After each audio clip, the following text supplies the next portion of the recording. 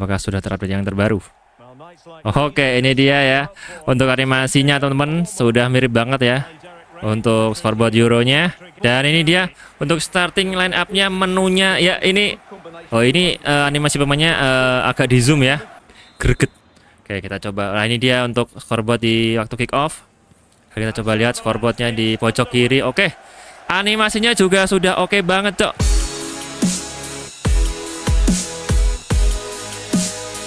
Halo semuanya, kembali lagi di channel Gunners Gaming. Apa kabar kalian semuanya? Semoga kalian tetap baik-baik saja. Amin. Oke, di kesempatan kali ini karena kali ini ada edisi Euro di tahun 2024 teman-teman ya yang diselenggarakan di Jerman. Nah, karena ini menyambung tentang mod Euro ya teman-teman. Jadi ini aku bakal bagiin mod scoreboard Euro 2024 untuk FIFA 23 teman-teman ya. Ya, bener ini mod scoreboardnya untuk FIFA 23 teman-teman ya jadi nanti kalian bisa pakai scoreboard ini di FIFA 23 ya. Jadi serasa main Euro ya kayak di FC 24 teman-teman ya dan seperti biasa untuk mod ini dibuat oleh MCK Scoreboard ya. Sang uh, salah satu kreator mod scoreboard terbaik sepanjang masa. Anjay. Oke untuk mod ini nanti kalian bisa download di Patreonnya teman-teman. Dan bisa di download secara gratis cok.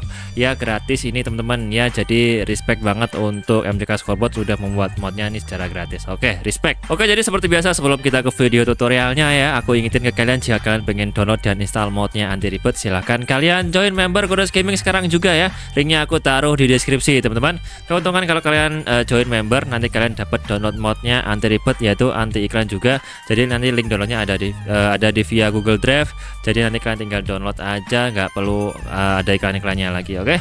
Dan yang kedua kalau kalian bingung cara pasang modnya Aku juga sediain jasa instalasi mod teman-teman ya. Nanti kalian tinggal terima main aja tinggal terima beres tinggal duduk manis main gamenya aja. Aku yang installin modnya pakai team viewers oke? Jadi gitu. Makanya join member Gunners Gaming sekarang juga. Let's go. Oke jadi gitu aja teman-teman. Langsung aja kita ke video tutorialnya saja. Let's go Oke jadi langsung aja kita ke video tutorialnya. Teman-teman nanti silahkan kalian download dulu untuk link scoreboardnya ada di patreonnya si MCK scoreboard teman-teman ya. Dan nanti silahkan kalian download di sini ya. Dan ini uh, bisa kalian download secara gratis. Tinggal kalian klik aja nanti kan otomatis uh, terdownload teman-teman ya. Karena aku udah download di sini aku cancel aja teman-teman ya. Nanti silahkan kalian lihat download dulu modnya oke? Okay? dan jika sudah kalian download teman-teman ya kita ke folder uh, filenya ini oke? Okay? nanti filenya ini berukuran cuma 88 MB doang ya. Kecil banget teman-teman ya. Jadi cukup ringan untuk mod ini. Jadi untuk mod ini nggak pengaruh sama ke performa uh, eh, PC kalian ya. Jadi mod ini ringan oke? Okay? cukup ringan. Dan langsung aja kita ekstrak aja teman-teman di sini modnya Oke setelah kalian ekstrak teman-teman di sini aku hapus dulu untuk file WinRAR-nya. Jadi nanti ada dua file mod teman-teman. Di sini ada untuk scoreboard pack FIFA mod dan ada yang versi app app mod teman-teman ya. Kalau kalian pakai app app mod kalian pakai yang versi app app ini ya. Karena di sini aku nggak pakai uh, app app mod, aku bakal pakai yang biasa teman-teman ya. Sesuaiin aja sama mod yang kalian pakai kali ini, oke? Dan uh, langsung aja kita pergi ke FIFA Mod Manager dulu teman-teman. Di sini cuma butuh tools Mod Managernya aja, nggak, nggak ada yang lain teman-teman ya. Kita buka dulu FIFA Mod Managernya, lalu kita pilih uh, FIFA 23 di sini, kita klik select. Oke dan jika sudah terbuka seperti ini untuk FIFA Mod Managernya teman-teman ya, kita langsung aja masukkan file modnya tadi ke dalam FIFA Mod Manager ya. Ntar aku minimize dulu. Langsung aja kita drag and drop modnya ke dalam FIFA Mode Manager kayak gini teman-teman ya. Dan nanti akan masuk otomatis ke dalam FIFA Mode Managernya ini oke? Okay? Dan setelah itu langsung aja kita apply modnya di sini teman-teman. Kita jika sudah masuk modnya di sebelah kanan seperti ini kita tata dulu ya. Kita taruh di uh, atasnya mod fastpack kayak gini teman-teman ya. Jadi kayak gini aja susunan modnya nggak masalah. Ini sudah oke okay ya Oke jadi sesuai susunan modnya teman-teman untuk FIFA 23 kali ini. Dan setelah seperti ini langsung aja kita launch gamenya di sini teman-teman ya. Dan tunggu sampai proses applying modnya selesai nanti akan otomatis masuk ke dalam gamenya kayak gini ya. Oke uh, aku skip aja ya langsung ke dalam menu gamenya teman-teman. Dan langsung aja kita preview di sini untuk maskor botnya jadi langsung aja kita menu ke masuk ke menu kick off teman-teman. Oke di sini aku akan coba pakai Jerman ya uh, melawan Inggris di kick off teman-teman ya. Dan langsung aja kita play matchnya dan kita akan coba lihat untuk scoreboard terbaru di uh, scoreboard terbaru Euro di musim 2004 ini untuk FIFA 23. Kita skip dulu di sini. Oke. Okay. Kita cek di sini teman-teman ya. Apakah sudah terupdate yang terbaru? Oke, ini dia ya. Untuk animasinya teman-teman sudah mirip banget ya. Untuk scoreboard Euronya dan menu komentatornya juga sudah terganti di sini. Oke, cakep banget. Oke, mantap. Sebastian Schweinsteiger. Kita akan lihat uh, menu starting line up-nya kayak apa, kayak gimana. Apakah sudah sesuai dengan uh, Euro terbaru di tahun ini? Mari kita cek. Dan enaknya di sini masih ada apa namanya national anthem ya, yang nggak nggak kayak di FC 24, nggak ada national anthem, aneh jadinya.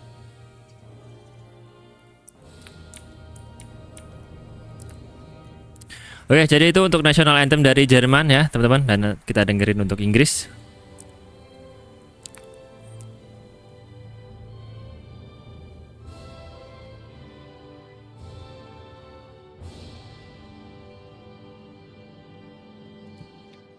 Oke, jadi gitu untuk national anthem dari Inggris ya. Dan ini dia untuk starting line up-nya menunya ya ini Oh, ini uh, animasi pemainnya uh, agak di zoom ya. Apakah seperti ini yang di real real life-nya untuk apa? Uh, starting line up terbaru di Euro 2024. Oke, ini starting line up-nya. Oh, agak tabrakan teman-teman ya. Di formasinya tadi cuy, tulisannya. Tapi nggak masalah, ini sudah oke okay banget ya. Kita coba cek starting line up dari Inggris dan sudah oke, okay, sudah apa namanya animasinya pun sudah berganti loh. Animasi startingnya ya. Yang biasanya kan kecil, ini gede, Cok, di zoom gitu, Cok. Keren gila.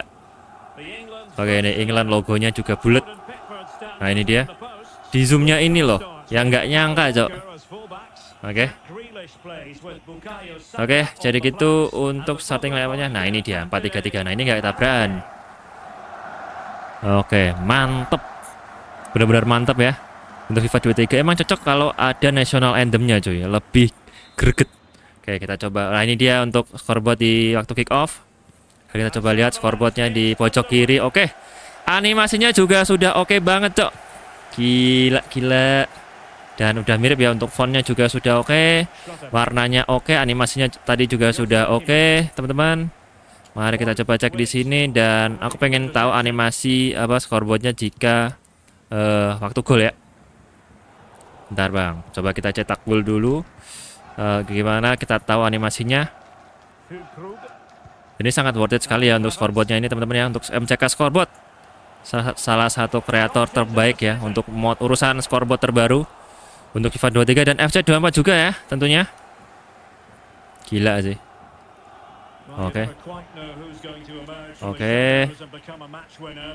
Full cook. Oke. Okay. Oke. Okay. Ya ampun gak gol dong. Oke okay, ini dia animasi perpindahannya. Oh nggak ada ini ya, nggak ada logo euronya ya.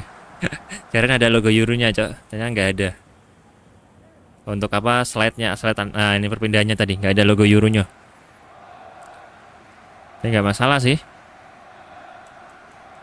Tapi sayangnya di FIFA 23 nggak ada mode euronya ya kalau nggak salah ya. Adanya cuma Piala Dunia. Jadi harus kalian create sendiri kayaknya untuk uh, cupnya bikin sendiri cok. Oke. Okay. Kimika. Wolf. Eh Wolf Eh. Oke okay. Grealish Show B Jack Grealish. And providing width. Crossing opportunity. What the? Can they take the lead here Wah, oke. Okay. Ini dia kebobolan, Cok. Kita lihat animasinya waktu apa uh, jebol gawangnya, waktu golnya. Apakah sama aja? Oke. Okay. Kosong sekali. Iya. Oke. Okay. Ini bolanya otomatis ya? Oke, okay, aman. Oke. Okay. Ya, nah ini dia. Nah ini dia, bukan Saka golnya juga sudah terupdate juga teman-teman. Gak ada masalah ya, hampir gak ada bug. Walaupun tadi ada bug kecil, cuma sangat gak pengaruh. Oke, ini dia. Jadi gitu teman-teman untuk uh, review scoreboardnya untuk Euro 2024 ini untuk FIFA 23 teman-teman ya. Nanti silakan kalian install aja dari ini bisa di-download secara gratis. Oke, jadi gitu aja ya. Oke, jadi gitu aja teman-teman untuk video tutorial dan review untuk mod scoreboard Euro ini teman-teman ya di 2024 dari MCK scoreboardnya ya. Untuk video tutorial cara pasangnya silahkan ditonton sampai habis biar nanti kalian nggak bingung atau salah pasang modnya teman-teman ya.